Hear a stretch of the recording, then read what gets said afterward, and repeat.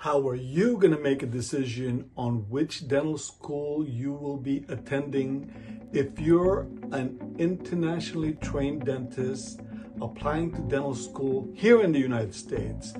In this video, you will make a decision. Is it a dental school that is close by to where you live?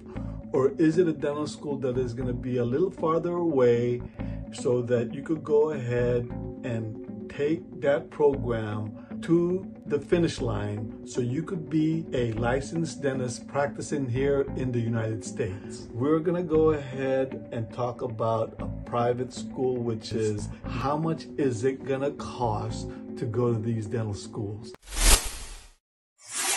For many years, we've had multiple dental assistants who have become dentists here in the United States.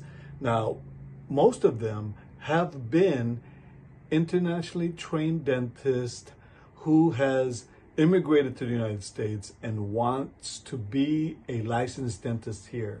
They've gone through the process of the application and have taken the licensing board to have a practicing dental license here in California, here in the United States. Now, we are in Northern California, Dr. Paulos, and we are practicing in the city of Dublin, in the San Francisco Bay Area.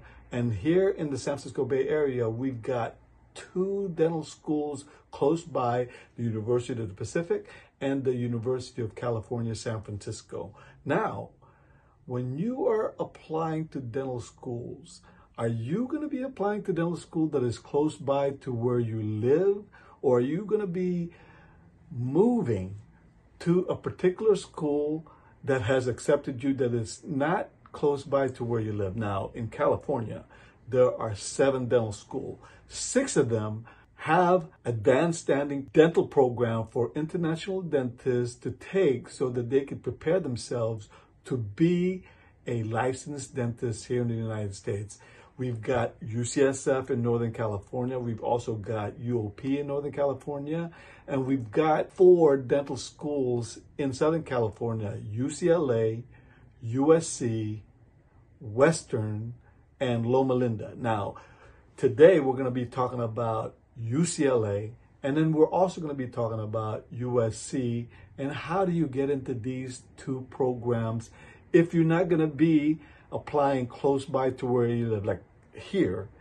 We are definitely going to be applying to UCSF and UOP. Now, one of the things that you've got to make sure that you are doing is have a strategy of when you're applying to dental school. One of those strategy is where is the location? Where are you going to be living in the next few years during this program when you are getting trained to practice dentistry and to make sure that you are passing that board exam to be licensed here in the United States. So one of the criteria that you want to make sure that you are making is am I going to be far away from my family? Am I moving my family to the location of the school that I get accepted to? Or am I going to be close by to where my home is, where my families are, and so that they are going to be your support system while you're in dental school.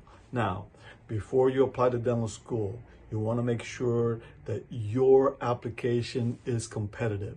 Competitive in a sense of you've got good GPA, you've got good test scores, and you have prepared yourself to be a good candidate for the entrance in a particular class. Now, when we're talking about Southern California, we're going to go ahead and talk about a private school, which is University of California, Southern California.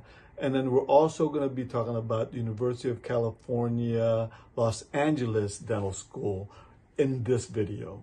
Now, what are the differences between these two schools? One of the things that you've got to look for besides location is how much is it going to cost to go to these dental schools? Now, I'm going to assume that you've got good GPA, good test scores in the national board exam and in the TOEFL exam. You want to make sure that that's all taken care of so that when you're applying, and then there is a process when you apply. Now, a lot of this information is available on the internet. We're looking at the first place that you have to do when you're applying for dental school is go to the ADEA, which stands for the American Dental Education Association. In this site, they have what they call the ADEA CAAPID, which is CAAPID standing for Centralized Application for advanced placement for international dentists. The reason why this is important is because part of the application process is being able to gather up all your information, submit it to a centralized location that the ADEA is able to provide you, and you've got to go to this one particular area, which is called the centralized application for advanced placement for international dentists. This is where you put in all your information, the test scores that you've got, the GPA, your credentials, what school you went to in another foreign country. And then what happens is this centralized location is where they are able to go and submit applications for you to particular schools. Now, when you're applying to dental schools, you are also budgeting how much are you going to be spending in this application process. There is a fee that has to go to the ADEA. And then there is another fee on the supplemental application that you are going to be submitting to schools that you're going to apply to. So what I would suggest is know where you want to go, budget your application process and make sure that you're not spending unnecessary funds for schools that you are not qualified for. Information for, on the internet, on your iPhone, Androids, on your laptop, every all the information that I'm telling you is in here. Now, one thing that you want to make sure that you do is you do your due diligence and make sure that you make all the effort in finding out everything about that dental school that you want to apply to. In California, there are multiple schools that you're going to be applying to. You want to not just apply to one, but you do not want to get exorbitant in, in trying to apply everywhere. You could apply to all the dental schools in California if you live in California. You could also apply to schools in the East Coast and any place in between, there are 60, over 60 dental schools in the United States. Half of them have uh, an advanced standing dental program. Now, so now what we're talking about here is if we uh, if we've already applied to the Northern California school, which is UCSF and UOP, what schools could we apply to that is comparable in Southern California? we could be looking at UCLA and we could be looking at USC. Now, if I was to look at um, the UCLA information and USC information, you've got advanced standing program for international dentists that is what they call at USC. Now, one of the things that you got to make sure is that you've got to figure out, am I qualified to go and apply to this school? Because they're only going to be accepting 30 between 30 40 students and that's basically what it seems to be most of these dental schools they're going to be accepting international dentists in their program that is about 30 to 50 and so when we're looking at USC we're looking at 34 students. So now the other thing that you want to consider when you're applying to these dental school is how much is it going to cost for me to go to that dental school? You've got two dental school that we're talking about, USC and UCLA, the tuition seems to be about the same.